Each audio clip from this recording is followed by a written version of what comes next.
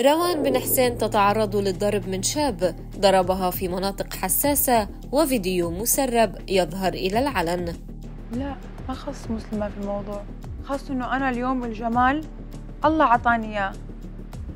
شو بدي أفتخر فيه يعني؟ مش يعني شو بدي أفرح باللقب. إنه okay thank you very much أنا أطلت الفنانة الكويتية روان بن حسين على متابعيها من خلال فيديو نشرته عبر حسابها الخاص.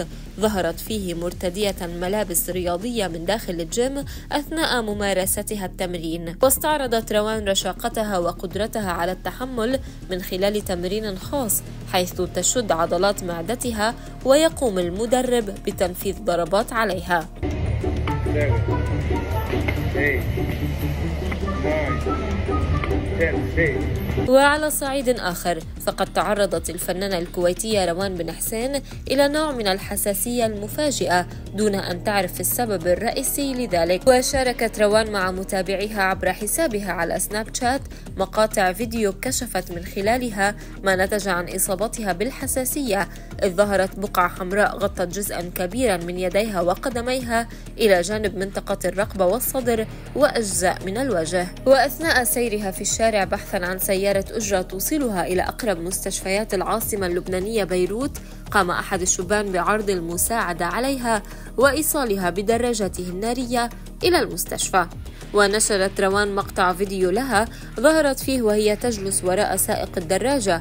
فيما تقول ما في أطيب من الشعب اللبناني. ما لقيت تاكسي أخذني بالموتو. وأوضحت روان أن السائق كان أحد المارة في الشارع إلا أنه حين قابلها ورأى حالتها عرض عليها المساعدة.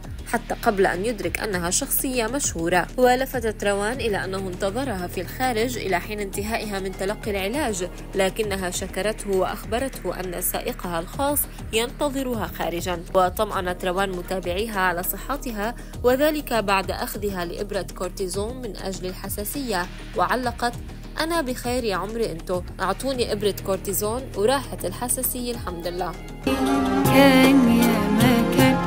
كنت بحكي لك زمان. قلبي موجود. وكان قد تصدر في وقت سابق مقطع فيديو لها وهي تشكو من مرضها النادر لتنهار بعدها بالبكاء. وفي التفاصيل دخلت روان بن حسين في نوبة بكاء أثناء حديثها عن معاناتها مع الأطباء من أجل التوصل إلى تشخيص صحيح لحالتها مشيرة إلى أنها مصابة بمرض جلدي نادر. ونشرت روان بن حسين فيديو عبر حسابها الشخصي تحدثت فيه عن رحلتها لتشخيص مرضها الذي اكتشفت أنه ليس ارتكاريا كما اعتقدت في البداية لأنها مستمرة معها منذ أكثر من شهر. ولفتت روان بن حسين إلى معاناتها مع كثرة الاختبارات التي تخضع لها وتجربة كافة العلاجات والأدوية إلا أنها لم تجد نفعا في حالتها. تابعوا كل الأخبار الفنية من خلال موقعنا جديدها دوت كوم واشتركوا بقناتنا على يوتيوب لتصلكم أخبار الفنانين.